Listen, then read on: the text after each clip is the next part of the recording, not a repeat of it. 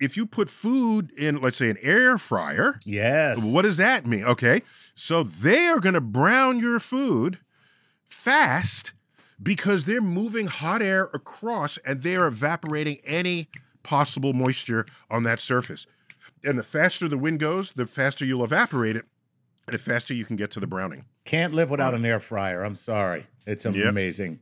They're wonderful.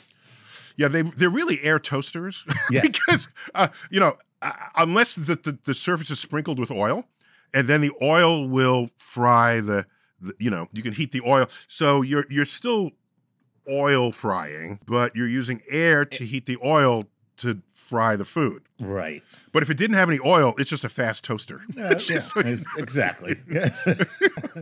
you mean I spent four hundred dollars on a toaster? Yes, you did. Yes, you yes, you did. You did indeed.